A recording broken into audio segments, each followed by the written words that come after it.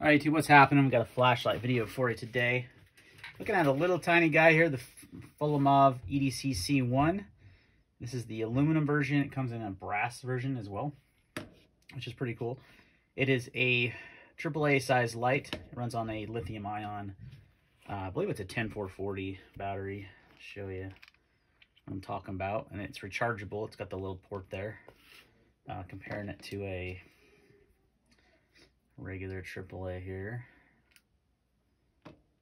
Yep, same exact size. So, but lithium ion, so typically meaning that it's a 10440. And it puts out 400 lumens. Uh, pretty bright little flashlight. It has a nat natural white 5000K emitter with a high CRI of um, 80. So, pretty cool there. Um, oh, putting it in backwards. The bezel up thing is messing with me. So it is a tiny, tiny little flashlight compared to the Olight i3T, very common, popular AAA light, and the Streamlight MicroStream USB. Um, but the interesting thing is it actually completely like outshines, literally outshines both of these uh, lights because it's putting out 200 more lumens, I believe, than the Streamlight. Maybe, maybe a little bit less than that. And then uh, I think this one's under 200. Streamlight USB, I think is around 280. So more, it's, it's more like 120 more lumens um, output. So let's go ahead and go over the basic specs. So you do get a Nichia E21A LED on this. Um, it is a 10440 battery like I thought. And turbo is 400 lumens. Uh, lasts for half an hour, which is actually pretty good runtime.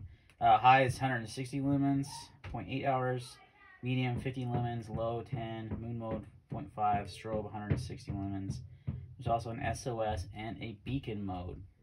Now, there's actually two, it's a multi-function tail switch, which is pretty cool.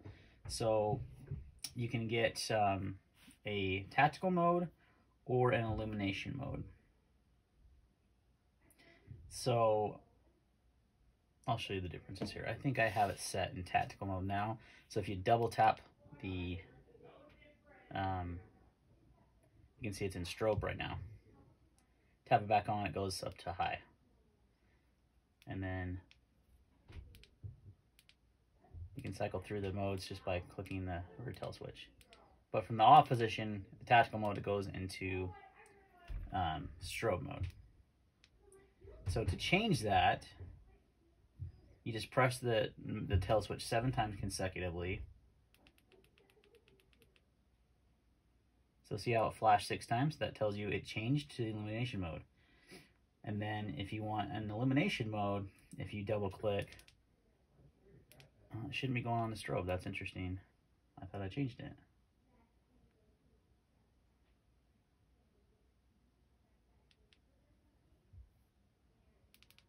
Yeah, it's it's like that's interesting. Let's try that again.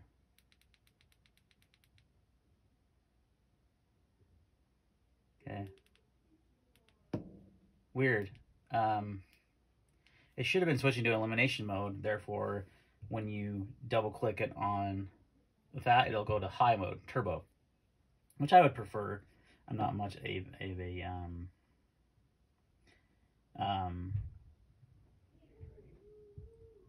I'm not much of a, you know, strobe guy. Um, according to this, press and hold the tail switch to access turbo mode temporarily. See, that's not doing that. That's that's like low mode.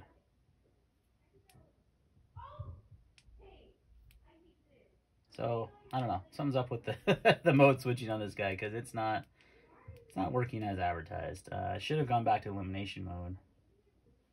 But if you hold down the um, tail switch for half a second, it'll go into a moonlight level, and then you can go into your memory mode as well. So it does have a memory mode and you have the option to switch between tactician and illumination mode. Oh, I'm not sure why it's not switching properly for me, but it's not. It should automatically come on high here, not strobe. So we'll have to figure that out. But it's cool that it has that many options and that many different modes and it can change things and it's super bright for how small of a light it is. It's just teeny. So let's go ahead and uh, we're going to bring in the uh, outdoor footage and we'll wrap it up. All right, out the EDC C1. Initial mode here. Medium, low, medium, high. 400 lumens. Teeny, teeny little flashlight. Pretty dang bright for its size. And look at that. That's one AAA. 10440 actually, I believe, but still off. And then if you double click strobe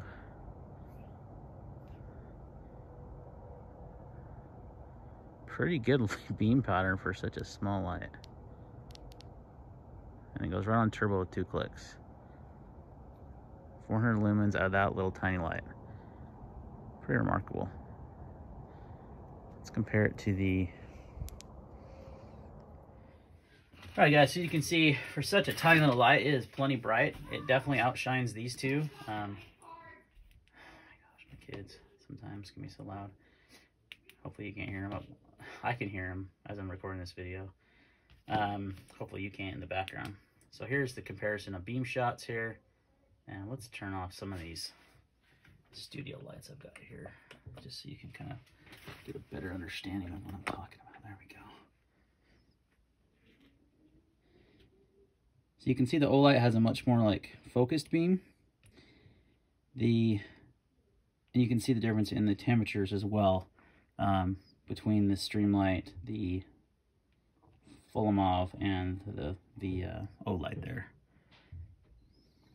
Much more neutral on this, and I would say the Streamlight actually has a like a wider beam even than the Folomov, whereas the Olight is pretty focused. I think they use that TIR lens on there to get that a little bit more focus. So kind of depends on what you want. Size-wise, obviously, the Folomov is teenier by a good margin. Now, what I don't like about this light is it's almost too small. And I know that sounds crazy, right? Because it's kind of the the pull to this, but I can't, I can barely like get it in my, it's just gets swallowed. I don't have huge hands by any stretch of imagination. And it gets swallowed up in my hand. Um, I wish it had a little bit more length because one thing I like about both of these AAA lights is that you get the full, you can get a full grip on there on your hand, and you know if you wanted to use them as a, in conjunction like as an EDC light with your firearm, you could.